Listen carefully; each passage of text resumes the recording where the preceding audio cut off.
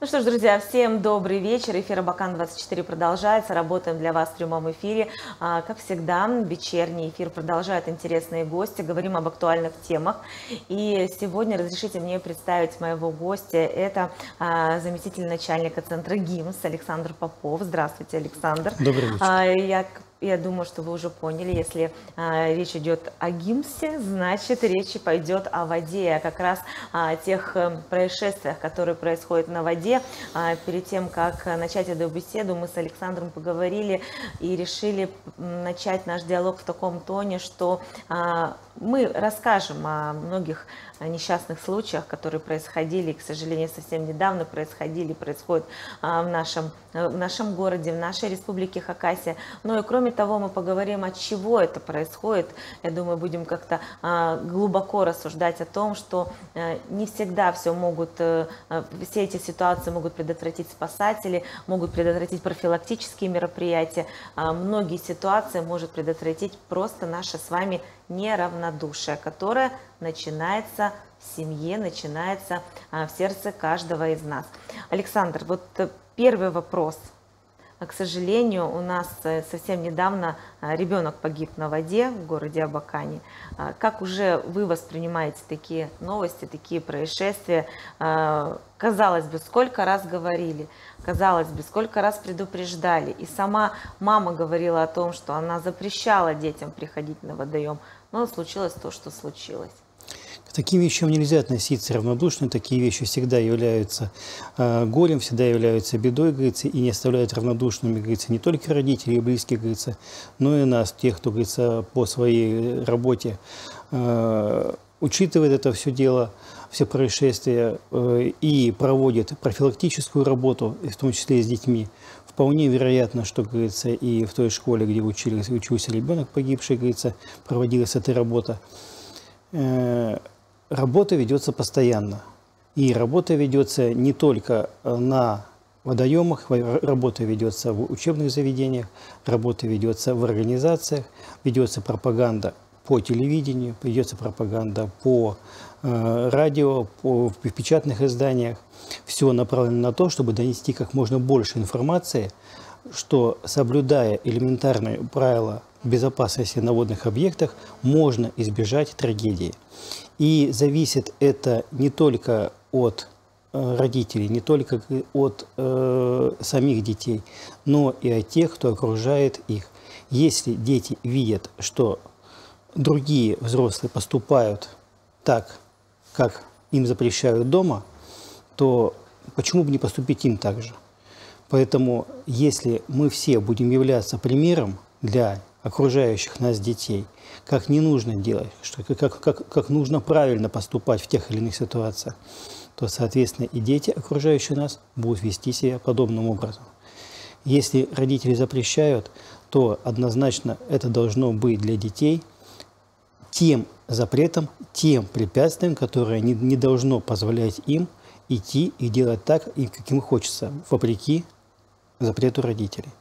То есть э, все-таки ну, то есть э, начинаться не должны должно, были просто, э, мама сказала нач, нет, не начинаться должны идти. должно все с воспитания, начинается все с семьи. Вот. И трагедия, которая произошла, она могла быть еще больше. То есть э, там было трое детей. Э, трое детей, 10, 12 и 10, да, по-моему, да. лет? Вот. И получается, что второго, то есть брата, говорится, погибшего ребенка, говорится, спас его друг, то есть э, помог выбраться из воды. И могло быть еще хуже, говорится, но тем не менее. А расскажите про это место. Это место рядом с жилым районом Южный, э, улица Мира, да, то есть это получается выход э, э, на Южную дамбу к реке Абакан. То есть это место, где, в принципе, всегда много детей, отдыхающих, дети нашего города, взрослые знают это место. Какие там опасности? То есть получается сильные течения, вот эти круговороты, что там происходит? Понимаете, все необорудованные места, они из себя представляют опасность. Не только конкретно это место. Все необорудованные места представляют собой опасность. То есть там нет спасателей, там не проверено дно, там, говорится, будет быстрое течение, возможно, водовороты, какие-то коряги, что-то еще. Поэтому в таких местах купаться не рекомендуется. Не нужно вот купаться в таких местах. Есть специально оборудованные места, давайте стараться купаться на них.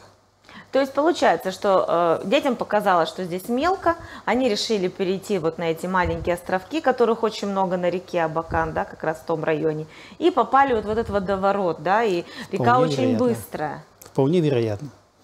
То есть, что, если бы я там был, я думаю, про трагедию бы не произошло, и смог бы рассказать вам более подробно. Угу. То есть, именно то есть, как это произошло вот досконально, я вам, к сожалению, рассказать не могу. Вы вы сказали о том, что, э, в принципе, не застрахован от такой трагедии ни ребенок, ни взрослый человек, а все потому, что река коварная, и то есть можно, э, ну, как сказать, э, задох, захлебнуться, утонуть даже там, где, казалось бы, мелко, да, вот река, она, в принципе, говорится, всегда, говорится, коварна. Быстрое течение может подхватить, говорится, и если здесь находится мелко, то буквально через 10 метров может быть э, большая глубина, которую уже не, не достаешь дна, и можно, сказать, захлебнуться. Поэтому, где есть течение, там всегда есть повышенная опасность. Угу. Наш городской пляж, а, место оборудованное, где дежурят спасатели, а, там тоже неоднократно спасали людей, к счастью, все истории, многие истории закончились хорошо, но там тоже вот дренажные каналы, поэтому ваши коллеги, например, там не рекомендуют прыгать с моста, потому что тоже можно и удариться об воду, и удариться там, возможно, и одно, и так далее, и вообще это небезопасно, да, то есть это еще, э, э, на городском пляже тоже есть какие-то свои опасности, которые вот эти черту, которые переходить нельзя, да? Ну, конечно, потому что прыгать э, в воду можно со специально предназначенных для этого приспособлений, вышки, мостки, что-то еще, говорится, а мост для этого точно не предназначен. Мост – это пешеходная зона, где люди должны переходить через водоем. И, соответственно, говорится, никто там, говорится, не будет оборудовать безопасное приземление, либо приводнение – вот. И, конечно же, говорится, есть опасность того, что можно получить какую-то травму. В целом же дренажные каналы города Абакана, они ведь тоже не предназначены для купания. Совершенно да. верно. Э, как часто вы там наблюдаете людей, которые в любом случае хотят и лезут в воду, э, им, как говорится, закон не писан, все равно идут. Вот что делать? К сожалению, людей много наблюдаем, раздаем памятки, проводим беседы, стараемся объяснить. Э, до кого-то доходит, до кого-то не доходит. Э, но дренажный канал вокруг города Абакана это является гидротехническим сооружением, э, и он не предназначен для купания, либо для, для плавания на маломерных судах. Вот. О чем и выставлены соответствующие аншлаги, о чем проводим работу, то есть проводим беседы, но, к сожалению, люди не все нас слышат. Вот вы еще скажите, наверное, э, в очередной раз опасность этих дренажных каналов, потому что неравномерное дно, а, подземные ключи, которые могут э, э, ну, не только, не, не только неравномерное дно, а зачастую очень, очень крутой склон. То есть буквально один шаг, и глубина достигает трех метров. То есть там, говорится, глубина в дренажных каналах вообще достигает 6-8 метров. Вот. И, соответственно, говорится, на такой узкой ширине, понимаете, что, говорится, э, склон будет очень крутой. Соответственно, говорится, два шага, и дна уже нету. То есть э, просто так э, за, войти туда в воду еще можно, если умеешь плавать, а вот выйти уже бывает проблематично. Соответственно, говорится, э, возможно, без чьей-то помощи не получится даже выбраться на берег в каких-то местах. Плюс ко всему, э, очень неравномерная температура воды. То есть там, где бьют ключи, то температура будет, говорится, э, близка к 4 градусам. То есть если везде, говорится, там 20-25, там, там плюс 4, говорится, и, соответственно, возможно, говорится, и судорога, говорится, и просто потеря ориентации, если нырнуть. Вот. Ну и плюс к этому, э, на дне, возможно, различные препятствия, какие-то предметы, коряги, может, какие-то граждане недобросовестно там покрышки выкинули, что-то еще, проволока, арматура на которую можно напороться, зацепиться и опять же, говорится, получить либо травму, говорится, либо э, чтобы не будет возможности всплыть. Поэтому это опасно.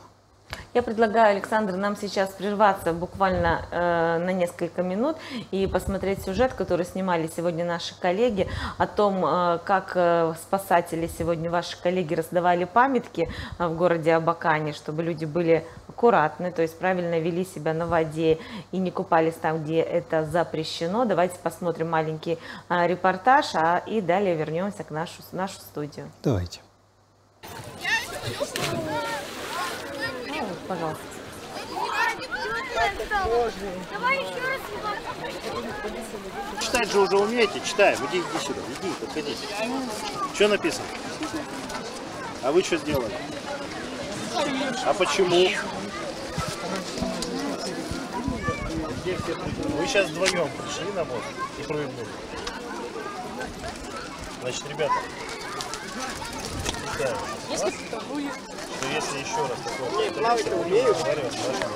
Хорошо? Если сегодня мальчишкам удалось уйти от ответственности, то в следующий раз за подобный поступок придется отвечать родителям. Согласно республиканскому документу, детям до 16 запрещено появляться у водоемов и уж тем более купаться без сопровождения взрослых. Но, тем не менее, лето, каникулы и сотни мальчишек и девчонок, отдыхающих в компании сверстников, без взрослых. К сожалению, зафиксирована сейчас гибель подростка на реке Абакан. На той неделе у нас в четверг он находился без взрослых на водоеме. И могло быть трагедия и больше. С ним еще были два подростка. Эти два подростка сумели выбраться. Один, к сожалению, не сумел, погиб. Взрослые, которые пытались его спасти, тоже могли погибнуть. Там был сильный водоворот, но они, ребята были умелые, выбрались сами. Но, к сожалению, подростка не смогли спасти. Чтобы такого больше не повторилось, специалист управления ГО ЧС Абакана совместно с полицией проводят подобные рейды. В Абакане увеличено количество патрульных групп, которые следят за безопасностью горожан на пляжах зоны отдыха и на остальных водоемах города. Устанавливаются дополнительные знаки, которые ориентируют людей, где можно, а где нельзя купаться. Также проводится разъяснительная работа с отдыхающими. Их привлекают к административной ответственности за различные нарушения. Притапливание бонов – это у нас э, нарушение считается. Заплыв на территорию пляжа на любом виде судна, то есть гидроциклы, катамараны, лодки, за исключением спасателей. Спасатели на лодке имеют право работать, остальные ни на каких видах плавающих средств не могут находиться на территории пляжа. Ну, там значительное количество есть нарушений у нас. Нельзя находиться с собакой на территории пляжа, это запрещено у нас, кроме собак-поводырей. Какие правила безопасности надо соблюдать вот при нахождении на водоеме, знаете? А, Так, глубоко не заходить, если не умеешь плавать. И все. И э, присутствие родителей надо. А ваши где родители? Дом, ну там где-то где загорают. Профилактические рейды проводятся в Абакане регулярно. Задача проверяющих – не пристыдить и наказать нарушителей, а предотвратить несчастные случаи на воде. В связи с этим специалисты ГО и ЧС обращаются ко взрослым, чтобы в летнее время были особо бдительными и следили за детьми. Не отпускали одних купаться и проговаривали правила поведения на пляже. А самое главное – показывали хороший пример, и, возможно, тогда будет меньше несчастных случаев. Надежда Савельева, Александр Кожевников. Новости. Ну, ну что, Надежда Савельевна очень правильно заметила о том, что э, все идет из семьи, то есть сами взрослые должны быть примером для детей. Я не видела сейчас в сюжете, чтобы с моста прыгали взрослые дяденьки, да, Э, видела только молодых парней, которые э, прыгают с моста, для них это такой азарт, это классно, вот, и, и штрафы, и какие-то нравоучения ваших коллег им, в принципе, не помогают, для них это просто э, веселье. Э, получается, что только трагедия может остановить, что же еще нужно делать? Я думаю, что даже трагедия в данном случае не поможет. Все-таки нужно, говорится, усиливать, говорится, контроль за этим местом, говорится, и проводить дальнейшую работу. Знаете, теперь еще вот э, тоже в этой плоскости будем мы разговаривать с вами дальше. Сейчас за окном действительно очень жарко, всем хочется освежиться, хочется а, покупаться в реке, в водоеме и так далее. Многие люди уезжают из города и э, останавливаются на берегу различных рек. Понятно, что а, на каждой реке нельзя оборудовать пляж, чтобы там было комфортно и безопасно. Мне бы хотелось, может быть, чтобы вы дали а, советы нашим а, зрителям, нашим отдыхающим, как правильно нужно выбирать место для купания. И вот очень же часто бывает так, что кто-то, например, умеет плавать, он заходит первый в воду, прощупывает дно, да, и потом уже говорит, здесь можно купаться или нет, безопасно. Какие бы вы дали тоже советы? Первый совет – научиться всем плавать. Это, скорее, не совет, а рекомендация, пожелание. Тем более сейчас лето, вода теплая, э, водоемы есть. Научите плавать своих детей, научитесь плавать сами. Это первое. Это э, самое такое, пожалуй, основное, что повысит вашу безопасность на водоеме. А далее, как вы уже правильно сказали, что тот, кто умеет плавать, говорится, он заходит первым, говорится, и проверяет, но если что-то место незнакомое для вас, но выбирать его нужно, говорится, без, э, то есть так, чтобы место было без быстрого течения, без видимых водоворотов на воде, э, чтобы берег был не э, обрывистый, то есть более-более пологий, и по возможности без растений, которые торчали бы из воды потому что там, где есть торчащие кусты, что-то еще, то есть там и большая вероятность говорится, повредить э, себя, говорится, при заплыве, говорится, либо при спуске, подъеме в воду. Надо смотреть еще на берег, пологий он или нет. Конечно. То есть, чтобы берег был не обрывистый, был, не обрывистый. был более пологий берег, да. Угу. А, температура воды имеет значение? Ну, судя по тому, по количеству людей, которые купаются э, в христианские, говорится, вот праздники, не очень имеет значения. То есть для каждого человека температура воды комфортно является своя. Вообще, конечно, наиболее э, приемлемой комфортной температурой для купания считается температура воды от 20 до 24 градусов. Рекомендую? Нет, даже не рекомендуете. Что скажете, когда бывают компании, которые а, сплавляются по рекам, делают такие небольшие остановки на территории водоемов, ну, на поверхности да, водоемов, и тоже начинают купаться прям вот э, э, посередине, где, как кажется, более чистая вода и так далее. А, какие там могут быть э, подводные камни, может быть течение и так далее? К ним относятся все те же советы, что сказал до этого, потому что что на середине водоема, говорится, что на окраине водоема, опасности будут одни и те же. Только единственное, что до них будут дольше добираться, говорится, спасатели, либо другие э, жители, которые находятся рядом и не смогут прийти к ним на помощь.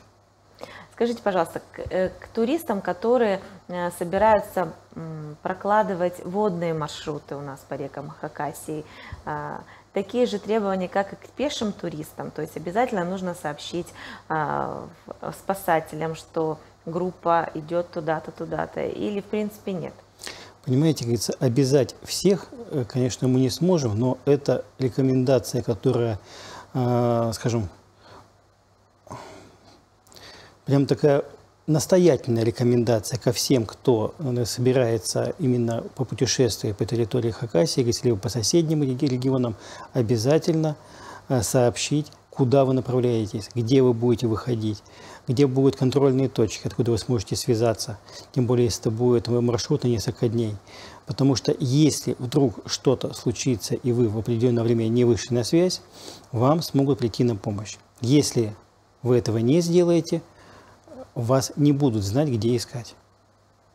Тем более вот последнее время, почему-то как-то вот именно последние дни столько тревожных новостей приходит из природного парка Иргаки, оттуда постоянно кого-то эвакуируют, что-то происходит. То есть люди, видимо, не рассчитывают свои силы, идут в такие а, сложные походы, да, и с ними там могут что-то, может что-то произойти. Это дело даже, пожалуй, не в сложных походах, а в очень большом количестве людей, находящихся э, в этом парке.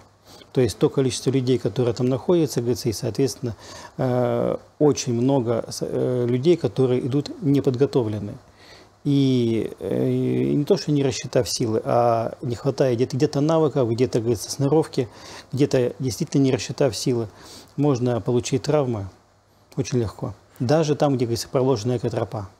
А прежде чем еще прийти к статистике, которой вы тоже владеете, плане того, что сколько у нас людей пострадало на воде. Еще хочу с вами поговорить вот на какую тему. А, как вы относитесь э, вот к так называемым водным походам, а, когда люди сплавляются по порогам, а, берут плоты, лодки и сейчас это очень популярно, даже есть некоторые туристические услуги, которые предлагают туристам э, ну, вот такой вид отдыха. Как вы к этому относитесь и насколько э, могут спасатели повлиять на организацию таких э, туристических маршрутов? Потому что, э, мне, кажется, нужно, чтобы рядом был хороший опытный проводник, как вам мне так кажется. Если вы сами не являетесь, э, скажем так, туристом с опытом, то, конечно же, отправляться говорится, в такое говорится, путешествие э, без опытного товарища, это, конечно, не целесообразно. Как и всегда, есть определенные правила, которые нужно соблюдать. То есть, если вы собрались сплавляться, то обязательно, чтобы вы были в жилете, чтобы жилет был одет правильно, то есть, чтобы был застегнутый всегда – находясь на воде, находиться в жилете. Это первое правило при любых сплавах. Если пороги, защищаем голову, защищаем конечности э, и э, соблюдаем те правила, которые опытный инструктор вам говорит, как себя вести в тех или иных ситуациях. Выполняют его и выполняешь его команды. Запрещается переходить с места на место без э, уведомления, говорится, старшего на, в, как, на плоту либо на катамаране и другие подобные говорится, мелкие э, правила, которые обычно объясняются при, перед началом сплава. А так, туризм как туризм. Ну, а у вас не было на практике встречи с туристическими группами, и вы, например, отдавали себе отчет, что люди, в принципе, не готовы, а пошли ради экстрима, ради красивой, яркой э, картинки, ради чего-то необычного? Не готовых людей нет, не встречали. Все-таки большая часть тех, кто Э, выходит на воду, говорится, и начинает сплавляться, тем более, если это организованная какая-то группа, они все-таки все правильно э, экипированы и ведут себя так, как нужно. Вы знаете, Александр, все-таки лето, оно э, и хоть и беззаботная пора, пора отпусков, когда мы немножко все расслабляемся, выдыхаем, да, но все-таки, мне кажется, это еще и тревожная пора в плане того, что действительно мы отдыхаем чаще всего на водоемах на, там, ездим на море и так далее, на реку. И вот вода, она действительно представляет собой вот эту колоссальную опасность.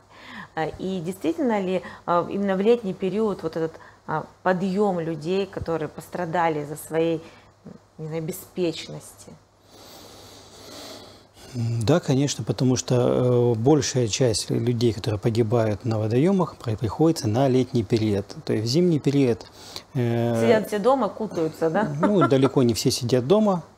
Вот, но, тем не менее, говорится, количество происшествий на водоемах намного меньше, чем в летний период, конечно же. Причина – беспечность, алкогольное опьянение, что?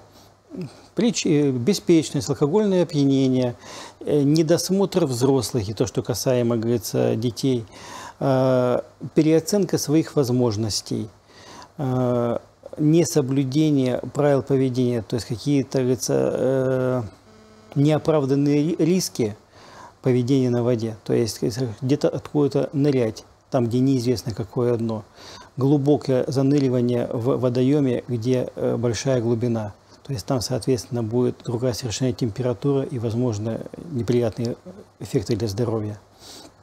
И другие моменты. Вы сказали, что часто люди недооценивают свои силы. То есть, получается, там, на расхрабли, расхрабрились, а, возможно, выпили чего-то горячительного, идут а, в воду. Что там происходит? А, сводят мышцы, не дай бог, остановилось сердце, или что? Или хотят показать, как они хорошо плавают, и там тоже происходит. Далеко заплыли проблемы с сердцем, проблемы со сведенными мышцами в том числе. Зачастую, говорится, э, на, зацепились за круг или что-то такое, говорится, ветром отнесло от берега далеко, то есть обратно до них не, не смогли добраться. То есть вариантов здесь развития трагедии, к сожалению, много. Как может сам себе человек в, этой, в этом случае помочь? Или э, нужно обязательно звать на помощь?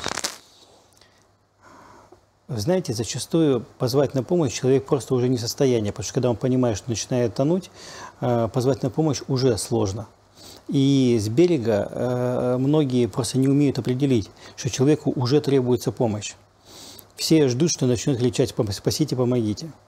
А человек, который попадает в беду, зачастую он э, просто не может уже позвать на помощь.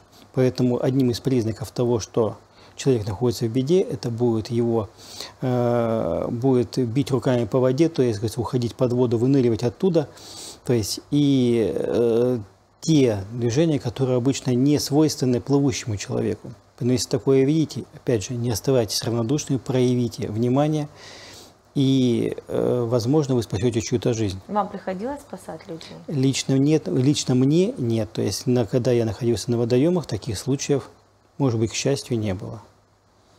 То есть, если человек видит, что э, что-то происходит с его знакомым, просто человеком, который э, да, на воде, и он ведет себя неестественно, нужно сразу помогать. Да. Или звать на помощь тех, кто умеет плавать. Да. То есть лучше лишний раз, говорится, проявить внимание и бдительность, чем, говорится, потом выяснится, что вы видели, как человек начал тонуть. Что делать на берегу? Искусственное дыхание, что? Прежде всего освободить, говорится, ротовую полость, говорится, от э, каких-то посторонних предметов, вылить э, воду, которая находится в полости рта, либо в, горле, и далее уже, говорится, если отсутствует э, дыхание, если сердцебиение, проводить искусственное дыхание, непрямой массаж сердца до приезда э, медиков либо спасателей. Скажите, пожалуйста, вот, э, может быть, есть такие данные, вы это замечаете, если человека уже вытащили из воды, будь то это взрослый ребенок, кто, возможно, быстрее придет в себя, взрослый или ребенок в своей связи с организмом? Или тут зависит от того, насколько человек нахлебался воды? Будет зависеть от того, сколько человек находился без э, доступа кислорода, конечно же, прежде всего. То есть независимо от того, говорится, ребенок или взрослый, то есть здесь будет зависеть, зависеть именно от индивидуальных особенностей организма и сколько человек находился в воде. А, есть ли у нас в Абакане, или, может быть, э, будет это ваша какая-то инициатива, а, проводить курсы, а, может быть, летом оказания помощи пострадавшим, тонущим людям? Есть такая как бы инициатива, хотелось бы. Многие у нас люди умеют оказывать первую помощь. Насколько я знаю, говорится, таких курсы говорится, матроса-спасателя, они, они в Абакане есть. То есть как раз где будет э, объяснено, то есть как себя вести, как помогать, как спасать и оказывать первую доврачебную помощь. А, хотя я думаю, что говорится, если бы такие были курсы для всех желающих, то это был, пользовалось популярностью. А еще, и это наверное, было полезно. А еще, наверное, вы выступаете за то, чтобы все умели плавать, да? Однозначно. То есть я к этому уже сегодня призывал, то есть что если и научите сами плавать, и научите своих детей плавать, конечно. А вот тоже э, надо же знать, как учить плавать. Э, не у всех получится. Конечно, не у всех получится. Для этого, говорится, есть секции обучения плаванию. Я даже в городе видел ни одно и не два объявления, то есть что по обучению плаванию. Не можете научить сами, обратитесь к специалистам. Есть такая еще категория людей, которые ну, независимо от обстоятельств, стали спасателями. Я имею в виду, спасли жизнь а, ребенку на воде, как а, знакомому, прохожему, ну вот тот, кто оказался в беде. Часто ли у нас такие случаи происходят? Вы знаете, из тех, которые мы знаем, достаточно часто. То есть и, э, наверное, еще больше тех случаев, о которых не знает никто, кроме тех, кого спасли и отношусь с, с, огромным, с огромным уважением к тем людям, которые не побоялись броситься на помощь, э, оказать помощь в воде, потому что это достаточно опасно. Э, не, не умея достаточно хорошо плавать, крайне опасно э, направляться на помощь к человеку, находящемуся в воде.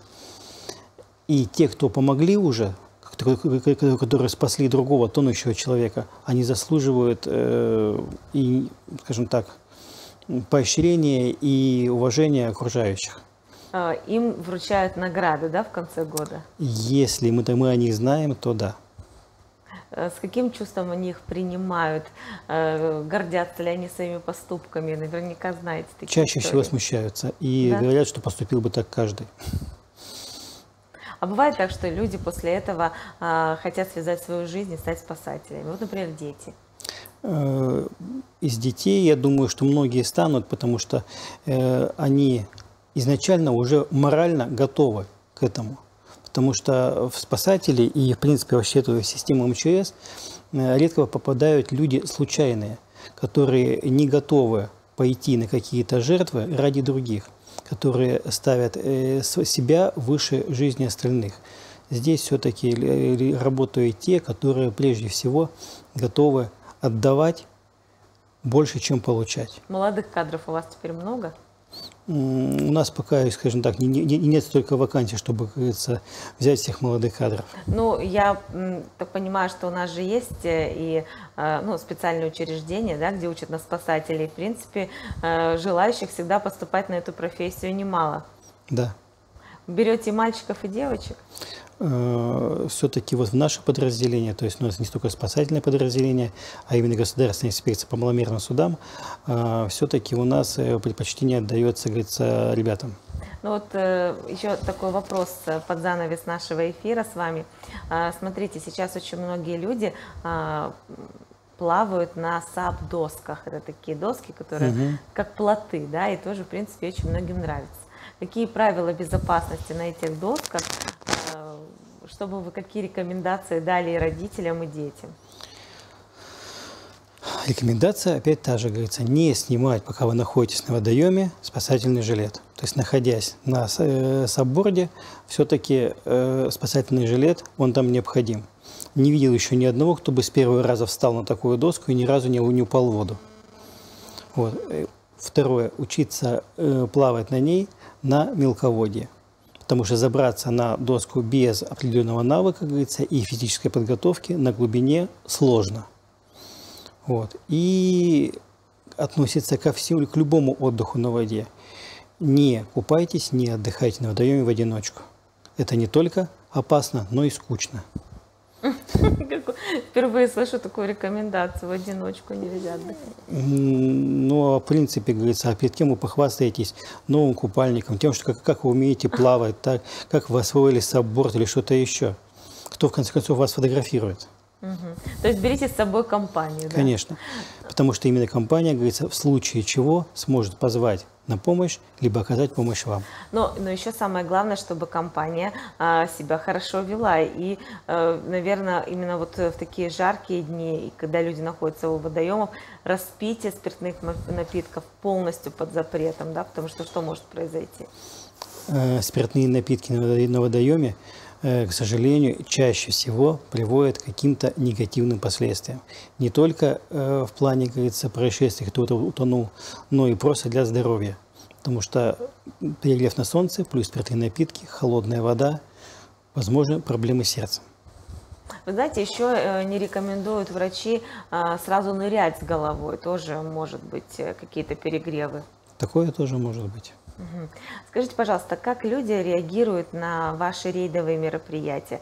Охотно ли они берут памятки и что всегда слышите в ответ? Знаете, по-разному. Кто-то э, воспринимает с энтузиазмом. То есть вы готов выслушать, готов, говорится, взять памятку, прочитать все то и что. Кто-то начинает показывать э, памятки, объяснять детям.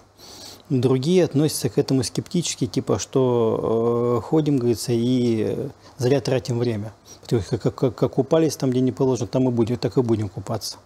Ну, как говорится, время расставить все по местам. А, Тем не менее, работу мы свою продолжаем, продолжаем ее регулярно, продолжаем во всех направлениях, как я уже говорил, говорится, и по учреждениям, и по школьным учреждениям, и на водоемах непосредственно, и в том числе с рыбаками, и тем, кто э, на лодках плавает.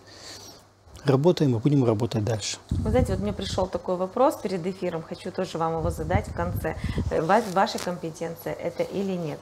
А, у нас есть водоемы э, в Республике Хакасия, на которых запрещено кататься на скутерах, ну, на таких специальных водных мотоциклах. Это, насколько я знаю, Шира и Белье. Но там люди пишут, что все равно продолжают э, гонять.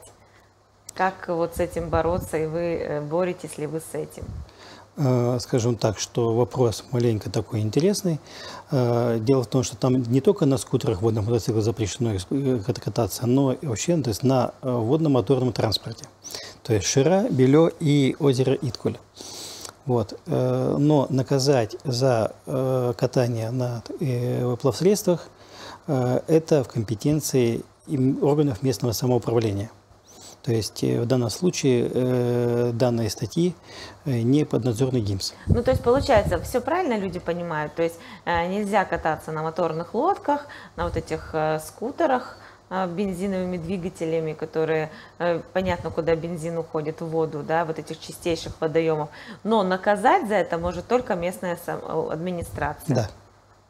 В Абакане распространяется этот запрет? У нас вот э, где можно кататься на таких средствах?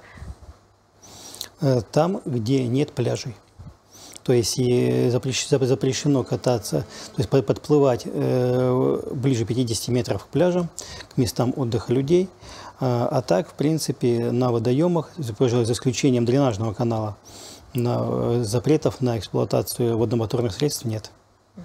Давайте еще у нас буквально несколько минут еще поговорим а, про наши две реки, которые есть э, в, в ореоле города Абакан. Это река Енисей река Абакан. Вы сказали, что река Абакан, она такая достаточно коварная и быстрые течения есть, и вот такие маленькие водовороты, которые, к сожалению, приводят к, тар- к трагедии. Да? Эм, когда отдыхает компания на берегу реки Абакан, сразу где она должна выбирать место стоянки? Э, Нужно ли цел- целенаправленно идти на вот эти острова и так далее? Ну, здесь будет зависеть того, какая цель у компании. Если, говорится, просто отдохнуть на берегу, то место значения не имеет. Если не собираются купаться, то, как я уже говорил, что выбирать место без быстрого течения, без видимых водо- водоворотов и с пологим берегом. И, соответственно, не отправляться купаться в одиночку, говорится, ни в коем случае не, не оставлять детей без присмотра. Ни на минуту, находясь возле э, реки, тем более такой быстрой. Потому что если дети э, как сказать, так, пропадут из поля зрения, упасть в воду, либо залезть в воду, говорится, подхватили течением, говорится, и помочь уже будет сложно. То же самое, наверное, какие такие же рекомендации к Енисею, да?